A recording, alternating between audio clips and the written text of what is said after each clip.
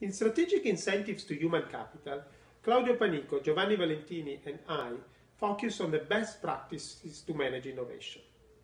The central argument of our paper is that firms can choose the degree of decision-making power or autonomy of a knowledge worker in a project as an instrument to motivate her. Our premise is that in a project, knowledge workers and firms may not have perfectly aligned goals. For example, in research, the researcher may want to linger on the more scientific aspects of the project, whereas the firm would like to pursue the commercial aspects. In this context, suppose that a firm can deploy high productive assets for a particular project. For example, cutting edge equipment raises the productivity of the project and enables the production of both a high scientific and a high commercial output. In this case, there is no motivational issue and uh, the pursuit of the scientific goals encourage the workers to exert enough effort in the project that also produces a high commercial output.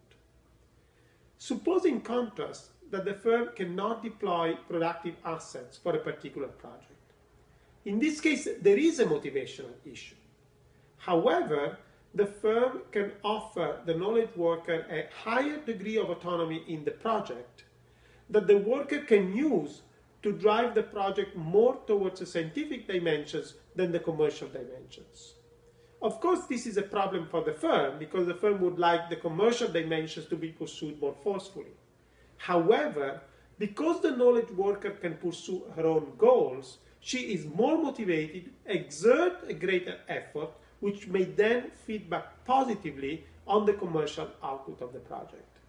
In other words, by offering autonomy, the firm also offers an opportunity to be motivated in the project, exert a greater effort, and also pursue to a greater extent the goal that the firm would like the worker to pursue. This can be shown graphically by the following picture. If, if we put uh, project-specific capital on the x-axis and autonomy on the y-axis, the relationship between autonomy and project-specific capital is downward sloping. When project-specific capital is high, there is no need to motivate the worker and the firm need not offer a high degree of autonomy in the project. In contrast, when project-specific capital is low, there is a need to motivate the worker, and in this case, the firm can compensate the lack of motivation by offering the worker a greater amount of autonomy.